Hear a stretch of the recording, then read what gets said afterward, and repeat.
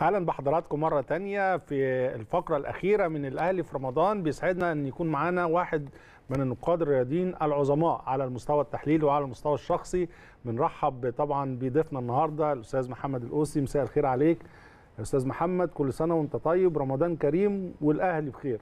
مساء الفل يا كابتن. آه، سعيد بتواجدي معاكم مع فارس وكل سنة. وحضراتكم طيبين وكل سنة والسادة المشاهدين طيبين. يا رب دايما أعياد وأيام مباركة يا رب علينا كلنا إن شاء الله. بإذن الله. قبل الله. ما نخش في الدوري وعودة النادي الأهلي للبطولة المحلية عايز أعرف رأيك في المشوار الأفريقي لغاية دلوقتي. وصول النادي الأهلي المرة ال 18 لنصف نهائي بطولة أفريقيا دي جزء والجزء الثاني تقييمك لموسيماني اللي في اعتقادي الشخصي آه، بعض الناس كانت بتنتقد موسيماني آه، رغم الأرقام الكبيرة جدا على المستوى على مستوى البطولة الأفريقية على مستوى البطولات في فترة صغيرة جدا ودايما بنقول آه في بعض الأخطاء الفنية في تغييرات آه نروح ونيجي في ده ولكن يبقى موسيماني بيأدي دور أكتر من رائع مع النادي الأهلي. تمام يمكن قبل ما ادخل في دي يمكن طبعا عايز يعني نعرج على ال- ال- المباريات العظيمة اللي بتلعب في دوري أبطال أوروبا يمكن كان ماتش ريال مدريد ومان. سيتي الواحد نفسه يعني حتى لو ما نقدرش مش قادرين نوصل للمستوى ده يا كابتن هاني يا فارس إن إحنا يعني على الأقل نقلدهم. يعني نفسي نقرب يعني شوية. نفسي نتعلم نفسي نستفيد نفسنا الأجواء دي تبقى عندنا في مصر. ال- ال- الجمهور بيشجع إزاي؟ اللعيبة بتلعب إزاي؟ ال- ال- ال- المديرين الفنيين بره بيشتغلوا إزاي؟ الحكام الأجواء. بيشتغلوا إزاي؟ الدنيا هادية إزاي؟ تقبل الناس آه، للتحكيم إزاي؟ ايا كانت القرارات. تعامل الحكم مع الفار إزاي؟ ما شفناش كل هدف. يعني في سبع أهداف النهارده لو السبع اهداف دول في الدوري المصري كان تقريبا وقفنا 70 دقيقة في المباراة. آه، فدي حاجات لازم نتعلمها لازم نستفيد من ده. ده حقيقي. وإلا إحنا بنتفرج ليه يا جماعة؟ يعني يعني أنا نفسي حكامنا يتعلموا لاعبتنا يتعلموا جمهورنا يتعلم.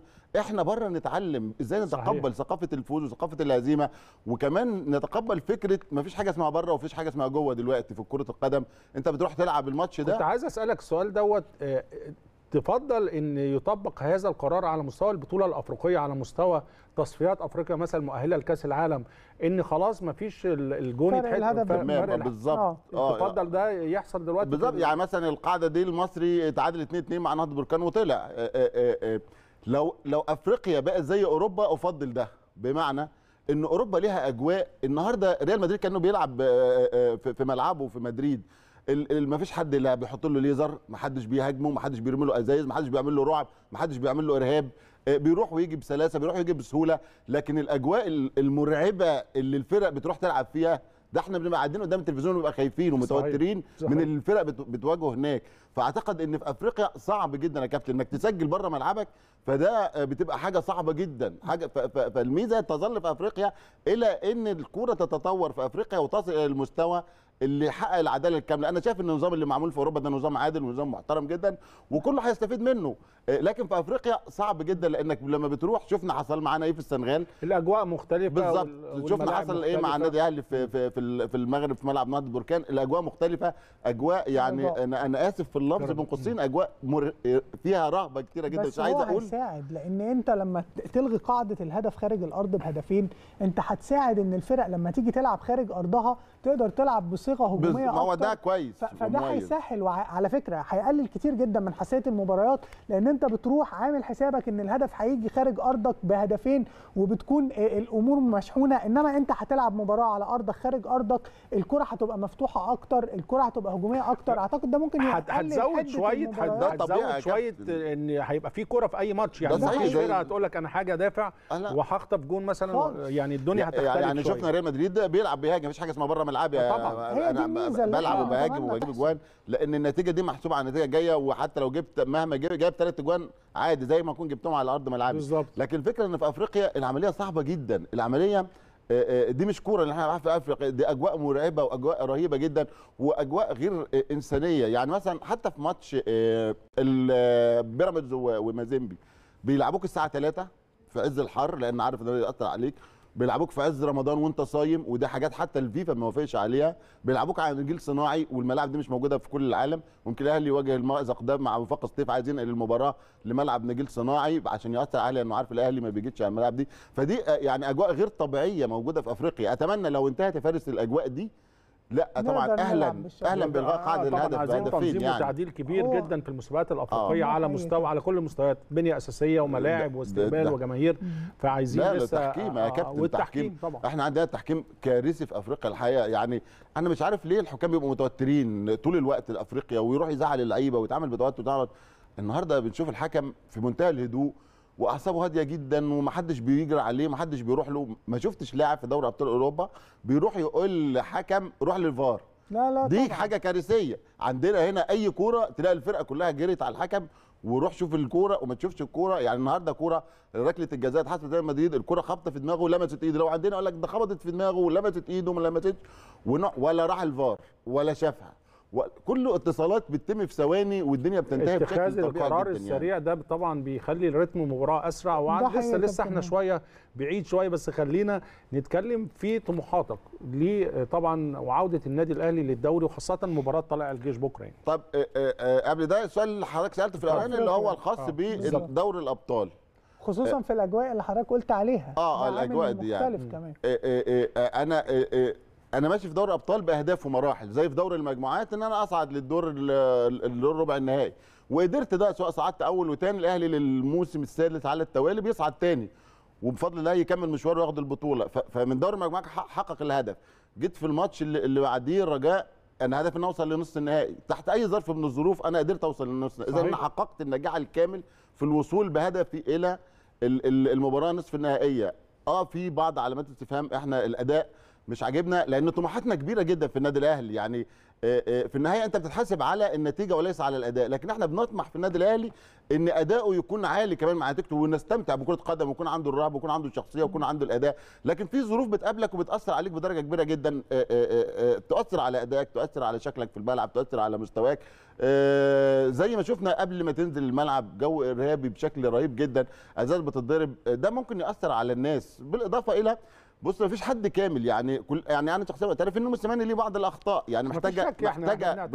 محتاجة علاج ومحتاجة تطوير سواء في التشكيل أو في طريقة اللعب اللي تناسب. في العالم ده آه. بالظبط اللي تناسب شخصية النادي الأهلي. لكن في النهاية دي قناعاته وهو بيحقق الهدف وهو بيكسب. ده المهم إنك بتحقق الهدف. بالظبط ده, يعني. ده أهم حاجة في فده مهم جدا. أنا ما دام حققت الهدف أنا ما أقدرش أتكلم معاك يعني. حتى لو كان ليا طموح إنك أنت تقدم. بشكل أفضل وتحقق أهداف أكتر يعني أنا أنا من وجهة نظري إن إحنا كنا نقدر نكسب الرجاء في في- المغرب نقدر نكسبه بمنتهى السهولة وبفرق جون واثنين وثلاثه لو إحنا دوتنا وهاجمنا لكن في النهاية آه، آه، اللي بيدير موسيماني آه، واللي بيخطط موسيماني واللي بيحقق الهدف وحقق لنا شفنا معاه لينا معاه تجارب سابقة لينا معاه ماضي جميل قدر. يحقق لنا كأس دوري الأبطال. مرتين ورا بعض السوبر مرتين ورا بعض اثنين برونزية فطبعا ما حدش يقدر يتكلم. يعني طيب آه، في ظل آه، الأجواء كمان اللي حضرتك بتتكلم فيها طبعا إحنا عايزين نؤكد يعني إن نادي الأهلي ونادي الرجاء حصل حتى بيان آه، بي- بيتكلم على الأشقاء وأكيد العلاقة تظل ممتدة وخصوصا إن إحنا بنشوف النادي الأهلي دايما بيحرص سواء في السودان أو في المغرب أو في مختلف الدول.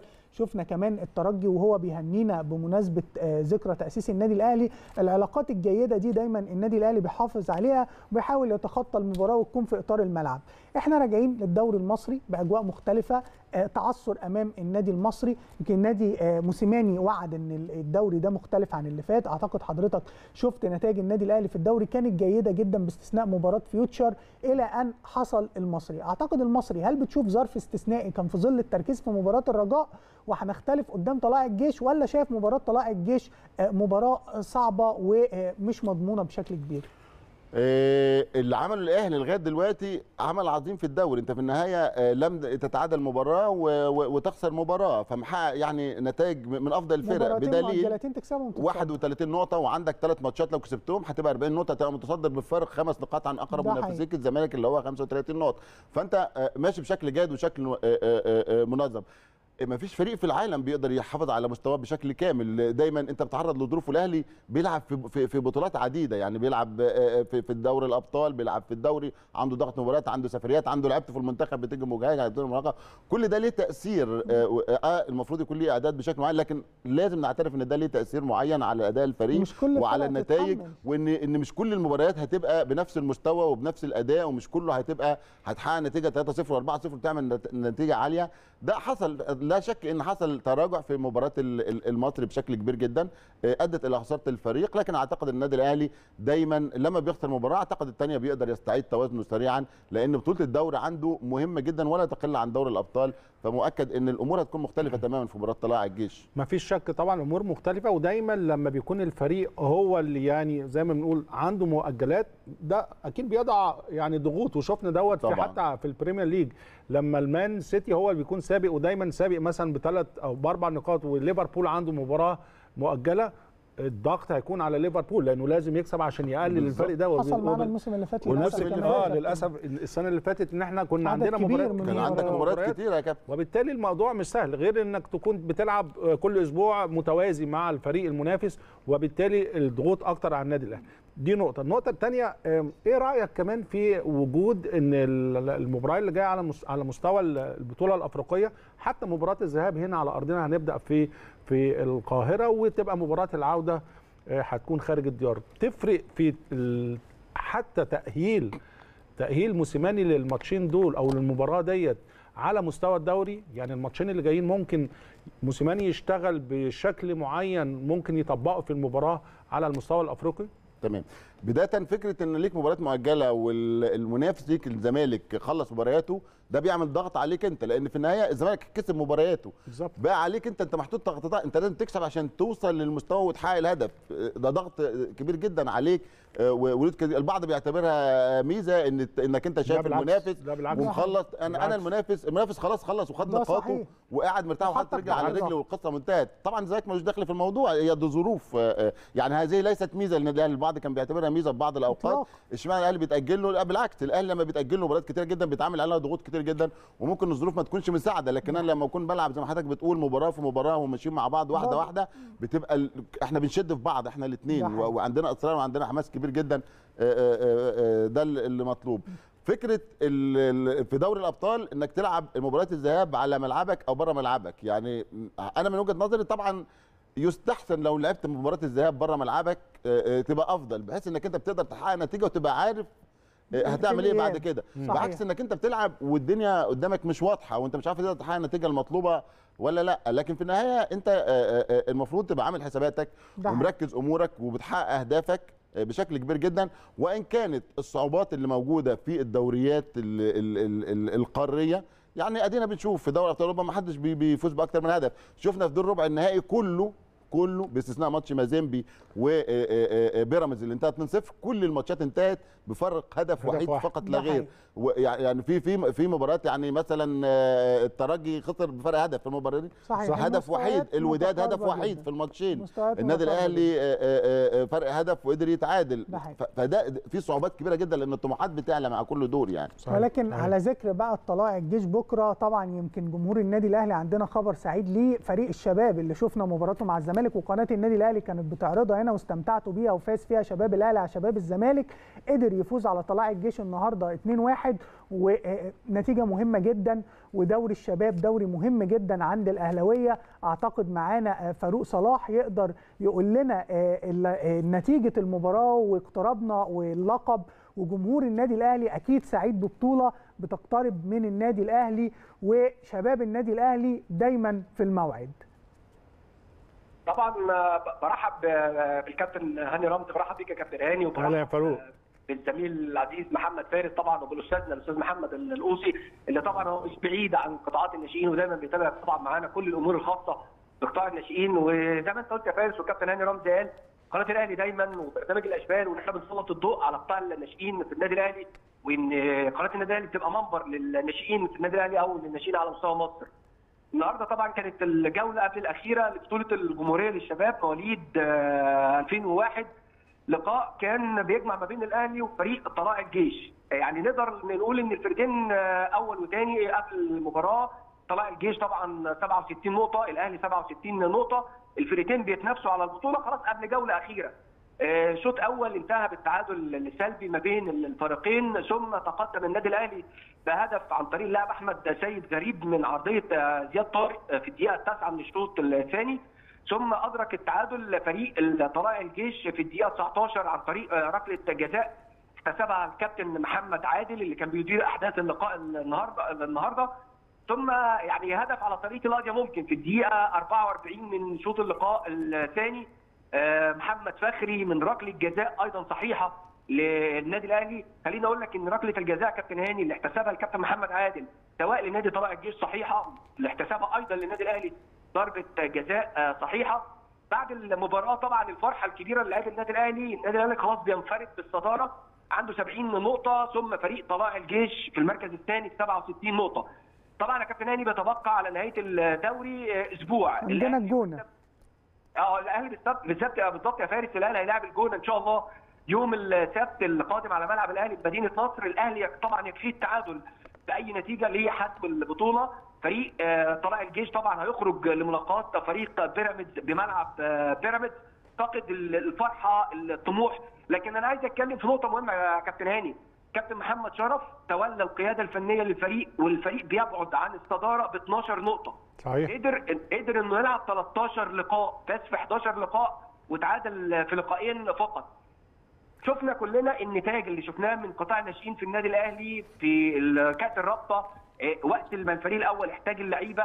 أيضا في مجهودات كتير جدا يا كابتن هاني. حضرتك عارف طبعا البنية التحتية والدور أكيد يا فاروق. مفيش شك يا فاروق. طبعا كل التحية طبعا ليك وطبعا للفريق اللي- ودايما بتكلم ودي نقطة مهمة جدا دايما ده الصف الثاني للفريق الأول ودايما بتكلم آه حلو قوي إن إحنا ناخد بطولة الشباب ده جميل جدا ولكن الأجمل كام واحد من هؤلاء اللاعبين هيكونوا متواجدين في الفريق الأول يكونوا نجوم المستقبل.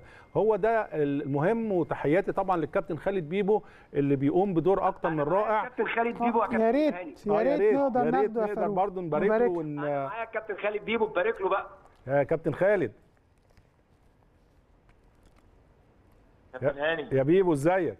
ازيك يا كابتن هاني أخبار حضرتك مبروك إيه؟ يا حبيبي الفوز آه، مهم جدا ولسه كنت بتكلم على دورك المهم جدا الفترة اللي فاتت. آه، والطفرة اللي حاصلة في قطاع الناشئين في النادي الأهلي على جميع المستويات حتى على مستوى إعارة الشباب آه، ذو خارج الخب- مصر ده. خارج مصر. ده شيء مهم جدا عشان يخشوا أجواء الاحتراف بشكل كويس. ودايما بقول الأهم مش هي البطوله البطولة طبعا مهمة إحنا متربيين على البطولة. ولكن الأهم من البطولة واللي أنتوا شغالين عليه إن فريق الشباب دوت إن شاء الله يكون فيه ست سبع عناصر متواجدة مع الفريق الأول ويكونوا هم دول نجوم النادي الأهلي الفترة اللي جاية يا خالد. طبعا كابتن هاني بشكرك طبعا على على الكلام ال- المحترم ده. الحمد لله طبعا النهارده كان مكسب كان مهم جدا. ال- البطولة كانت بعيدة من من مباريات صحيح. فاتت. الحمد لله شرف يعني قدر يعمل مجهود كبير جدا. و والولاد كمان ساعدوه إن إحنا إن شاء الله نرجع على تاني نتصدر البطولة. بطولة الشباب دي بالنسبة لنا هي مهمة جدا لأن ده أول فريق تحت الفريق الأول. صحيح. اللعيبه كلها لازم تبقى عندهم ال- الاستعداد إن في أي وقت إن أنت تشتغل مع الفريق الأول. وشفنا الحمد لله لما الفريق الأول احتاج مجموعة من اللاعبين في كذا نقطة كلهم. ادوا بشكل كويس وعملوا حاجة كانت محترمة جدا. آه، أنا بقول لك النهارده يعني المباراة كانت مباراة صعبة جدا في فريق طلائع الجيش. صراحة عمل موسم جيد جدا.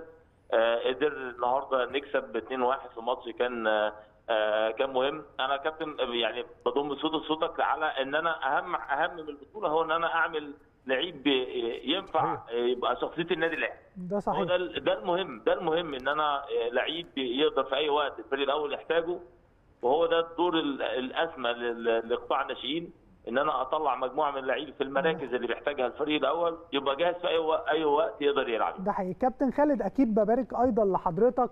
واكيد إحنا شايفين تجربة مختلفة. خدت قطاع الناشئين من النادي الأهلي رحت بيه لحتة تانية.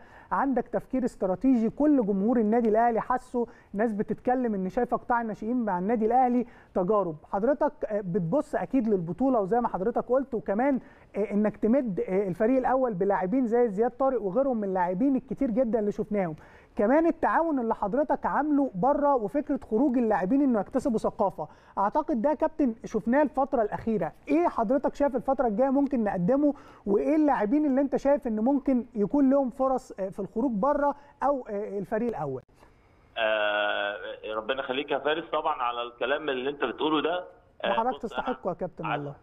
إيه؟ حضرتك تستحق أكيد وجمهور النادي الأهلي كله لامس ده يعني. ربنا يخليك طبعا بص عشان نبقى متفقين ال- الموضوع اللي فيه استراتيجية اتحطت من من آه، آه، مشرف عام على الكورة مع لجنة التخطيط إن إزاي إن أنا يبقى عندي قطاع ناشئين يقدر إن هو يستفيد منه الفريق الأول وأقدر إن أنا أشتغل على الإمكانيات اللي عندي طبعا كان شغل كبير جدا اتحط الاستراتيجية من من من سنتين وأنا وأنا. أنا نفذت الكلام اللي محطوط من ال... من لجنة التخطيط والمشرف العام على الكورة كابتن محمود الخطيب. أكيد. إن إزاي نستفاد باقصى اقصى يعني أقصى استفادة من قطاع الناشئين. اشتغلنا على كذا محور. محور أساسي إن أنا إزاي أشوف الأماكن اللي محتاجها الفريق الأول وإزاي إن أنا أشتغل عليها وإزاي أجهز اللعيب إن لما يحتاجه الفريق الأول نشتغل ده يبقى جاهز 100% المحور الثاني إن أنا بقى عندي مجموعة من اللاعبين يقدر ياخد ال ال ال ال الطابع الأوروبي. يطلع من سن صغير. وإحنا الفكرة كمان ان إحنا كمان يعني ان شاء الله في الفترة الجاية هتشوف مجموعة أكتر كمان بتبتدي تتحرك. عشان يبقى أنا عندي يعني مجموعة من اللاعبين بتشتغل في الدوري المحلي ومجموعه من اللاعبين بتشتغل في في في في, في أوروبا. أقدر إن هم ياخدوا الخبرات من السن الصغير وأقدر أنا أستفيد منهم كنادي من خلال كذا طريقة. المحور الثالث طبعا كان المهم إن أنا إزاي أشتغل على البنية كمان التحتية بتاع قطاع الناشئين. أنت يعني اشتغلنا بشكل مهم جدا في الفترة الأخيرة إزاي يبقى عندي بنية تحتية قوية جدا. والحمد لله إحنا ماشيين في الخطوط دي كلها. و...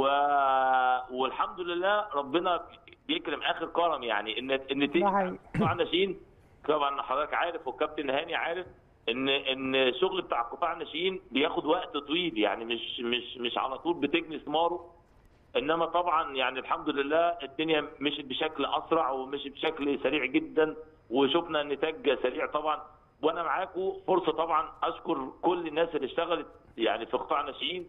قبل إن هم رؤساء قطاع الناشئين أو المدربين اللي اشتغلوا لأن هم أسسوا حاجة كويسة جدا في قطاع الناشئين.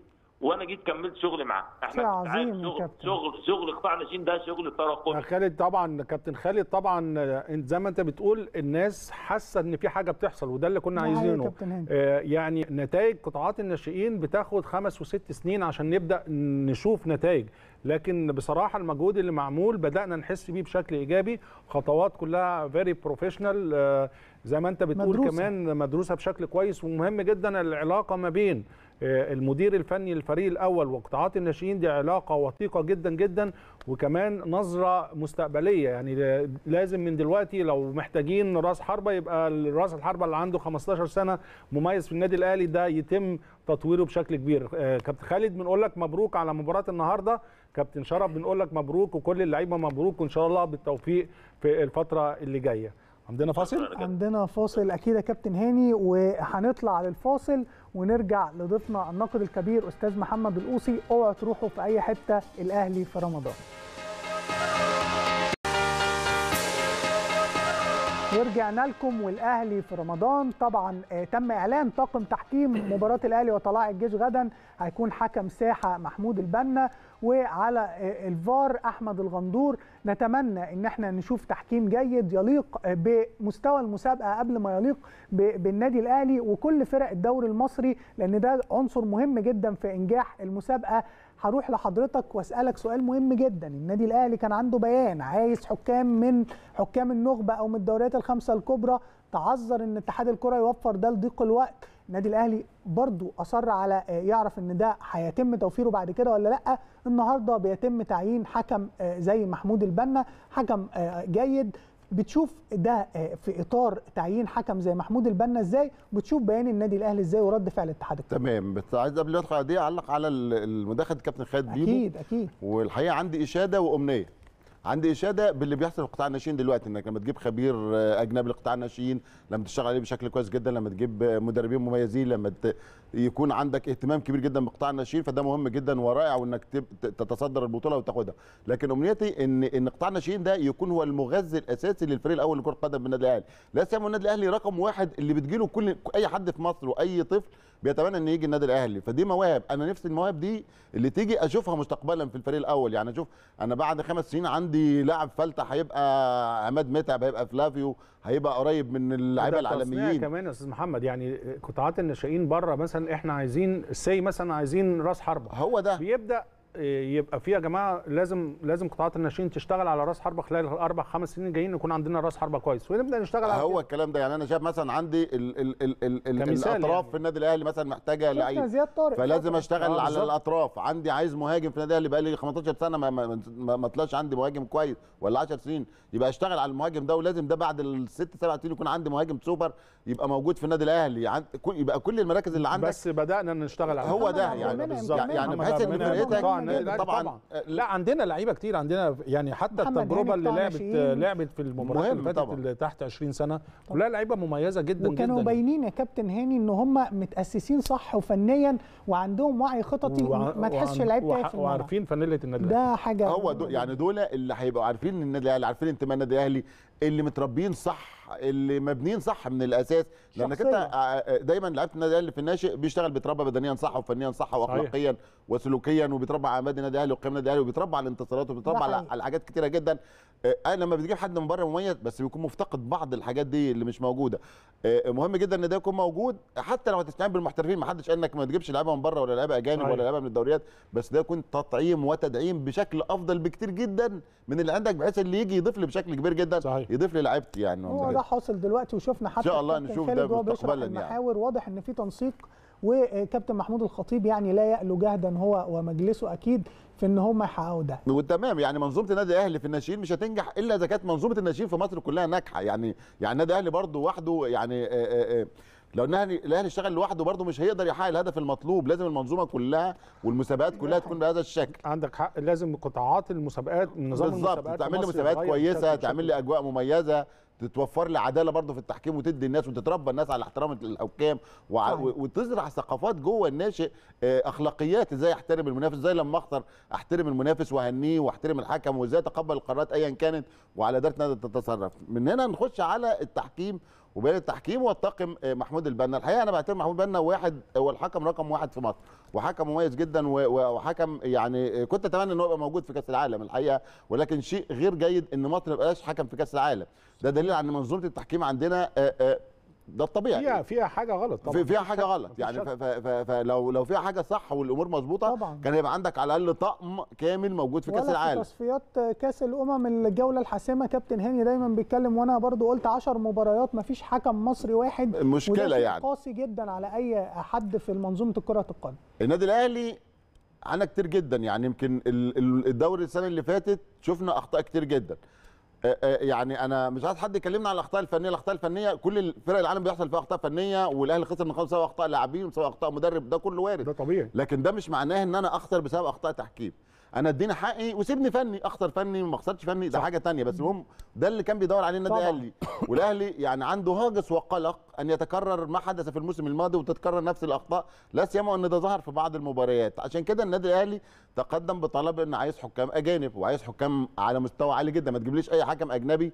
والسلام عايز حكام من حكام الصف الأول وده مهم جدا. فرد اتحاد الكورة إن هو مش قادر يجيب حكم من الدوريات اللي هو. ال big five اللي هم اللي هم أعظم حكام في العالم اللي موجودين يعني.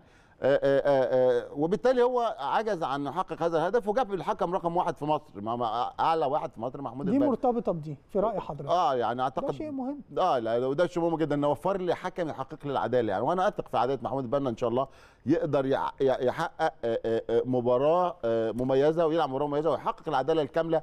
نحن لا نطلب أكثر من إن كل واحد ياخد حقه. أعطي. كل ذي حق حقه. يعني لا تجامل الأهلي ولا تيجي على الأهلي ولا تجامل طلائع الجيش ولا تيجي على طلائع الجيش. ادي كل واحد حقه. لو ميزان العدل موجود إحنا هنبقى سعداء. أدينا إحنا بنتفرج على ماتش آه، ريال مدريد والمان سيتي النهارده. مش حاسين بالحكم أساسا. معجب أنت قوي بالمباراة. أنا بتاعت- مباراة أنا أصل أنت بص أنت ما تبقى النهارده كان في ثلاث ماتشات في الدوري. فلو انت قلبت ورحت هناك ما تقلبش. ما بقول لك لو قلبت انت عارف زي عامل زي اوعى إيه؟ تقلب الموضوع بقول لك عامل زي إيه. زي ما تكون طلعت من من من من, من, ساونا ودخلت في الثلاجه يعني الدنيا مختلفة تماما. أو جواها مختلفة تماما. مفيش مقارنة. أنا رحت فين؟ إيه اللي جابني هنا؟ واخد بالك؟ ف ف ف مش حاسين بالحكم. مش حاسين بيه. ما أنا مش عايز أحس بالحكم طول ما أنت مش حاسس بالحكم في الملعب فالحكم ممتاز. يعني لو ما حدش جاب سيرة الحكم خالص إحنا هو ده. نجاح الحكم. هو ده نجاح الحكم انك ما تحسش بيه. لكن لما الحكم يفرض نفسه عليك بتدخلاته وبعصبيته وبنرفزته وبقراراته الغير عادلة في بعض الأوقات بص أنا آه، يعني آه، متأكد إن مفيش حكم آه، بيقصد إنه يخطئ.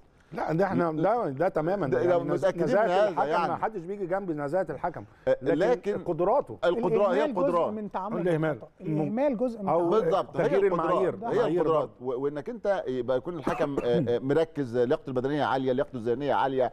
لياقته النفسية عالية. ألوان التيشيرتات مش موجودة وده بالظبط. يعني دي كلها حاجات مهمة جدا. نتمنى إن هي توفر ونتمنى إن النادي الأهلي تتوفر له العدالة الكاملة اللي تساعد على أجواء مناسبة لبطولة مناسبة وتطلع بطولة الدوري نظيفة وشريفة وبعيد عن أي أخطاء تحكيمية تؤثر. على البطولة وتوجيهها لأي اتجاه. ده الهدف المطلوب صحيح صحيح. دي على مستوى الدوري. كمان أمنياتك بقى على المستوى الأفريقي. يعني على المستوى الأفريقي إحنا بنتكلم قدامنا إنجاز إن شاء الله يتحقق. ما اتحققش قبل كده إنك. تحصل على بطولة أفريقية ثلاث مرات. إيه اللي أنت شايفه آه، اللي يتعمل خلال الفترة الجاية من خلال مباريات الدوري علشان نبقى كمان مؤهلين بشكل كويس نعمل أداء ونتيجة جيدة في آه، نصف النهائي الأفريقي؟ طبعا ده يا كابتن هاني يعني وان شاء الله هيحصل بإذن إن الله, شاء الله. يعني لأن الأهلي آه، بقدراته وبشخصيته وبلعبته آه، بيقدر يتعامل مع المباريات الكبيرة. يعني خلاص باقي ثلاث خطوات ماتشين ذهاب وعودة والماتش النهائي. اللي إحنا مش عارفين برضو دي من المشاكل الكبيره جدا مش عارفين النهائي هتلاقي فين لغاية ما دلوقتي. صحيح. يعني خلاص أدي المربع الذهبي اتحددت أطرافه. أين تلعب المباراة النهائية؟ طبعا في كلام إن- انه هيحسم خلال الأسبوع السبعة أيام المقبلة قد يكون في السنغال قد يكون في جنوب أفريقيا. السنغال هي الأقرب إن هي تستضيف النهائي. لكن أنا نفسي نبقى برضو يعني نتعلم من الدورات الموجودة في كل أنحاء العالم. إن أنا وأنا بعمل قرعه الدور ال 32 أحدد الدولة اللي هتستضيف وأبقى عارف ده ومحدد ده. مع بداية البطولة أنا- ده أنا إيه اللي السنة اللي جاية. هيكون النهائي في الحتة الفلانية. وفي ناس بتقعد أفراد لمدة. سنتين. وحددها لمدة سنتين. ثلاثة يعني أقول في تل- في في, في 22 في مصر و23 في المغرب مظبوط. و24 في جنوب أفريقيا مظبوط يجي الفريق من جنوب أفريقيا يجي من مصر أنا ماليش دخل بالقضية دي حاجة. متحددة من زمن بعيد جدا يعني لكن السنة اللي فاتت اتع- اتحددت المغرب وكان على أمل إن الوداد يوصل وما السنة دي وصلش المغرب الجزائر مصر ثلاث فرق مشاركة من من شمال أفريقيا وحضرتك عارف حساسية المباريات ولسه الملعب لم يحسم يعني بقى في دي حاجات من الحاجات اللي مش كويسة. التنظيمية على مستوى آه على مستوى الحقيقة. في علامات استفهام كبيرة جدا على الاتحاد الأفريقي الاتحاد الأفريقي كان من الاتحادات القوية المنظمة اللي كانت لها هيبة كبيرة جدا واللي كان لا يشق له غبار واللي كان لا يكسر له قرار واللي كان لا يتراجع في أي قرار لكن الاتحاد الأفريقي منذ أن بات تحت وصاية الاتحاد الدولي لكره القدم والأمور اتزت الحقيقة بشكل كبير جدا الحقيقة م- م- م- للأسف. نتمنى إن الأمور تتعدل إن شاء الله. والامور تتظبط وده عمل اهتزاز كبير جدا سواء على مستوى المسابقات أو إدارتها أو على مستوى الحكام اللي موجودين في في ال- القارة الأفريقية. النادي الأهلي داخل على إنجاز تاريخي إنك أنت تحقق البطولة للمرة الثالثة على التوالي ما حصلتش. يمكن الأهلي قبل كده فاز بيها مرتين على التوالي وحققها المرة الثانية مع موسيماني وقبل كده مع جوزيه.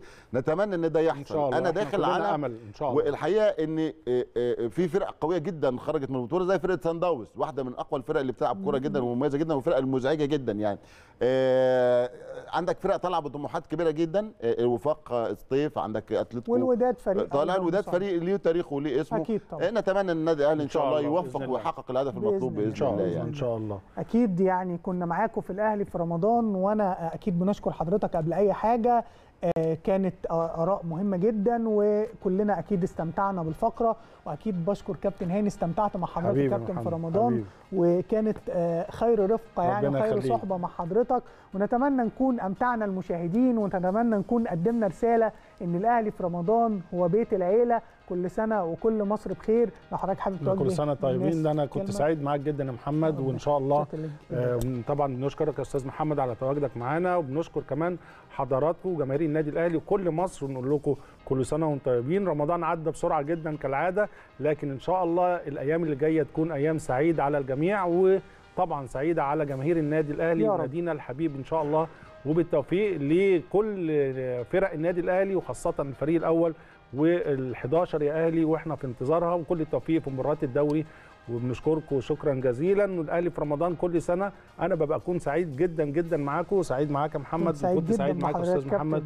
كل سنة وأنتم طيبين. يعني يعني طيب اعياد سعيده على الجميع. كل سنة وأنت يا كابتن هاني بنقول لك كل سنة وأنت طيب. آه، يخليك. واعياد سعيدة عليك وعلى كل ربنا يخليك. إخواننا المسيحيين في مصر الحقيقة كل يعني. سنة وإحنا كلنا طيبين. كل سنة وإحنا طيبين. كل سنة والأهلي بخير كل سنة والأهلي مجمع كل حبايبه وعشاقه قدام شاشة واحدة بس هي شاشة قناة النادي الأهلي. نشوفكم في حلقات جاية أكيد لسه مستمرة من الأهلي في رمضان. ونتمنى نكون أسعدناكم ونتمنى نكون قدمنا رسالة مهمة جدا ويظل النادي الأهلي دائما هو صانع الفرحة في مصر.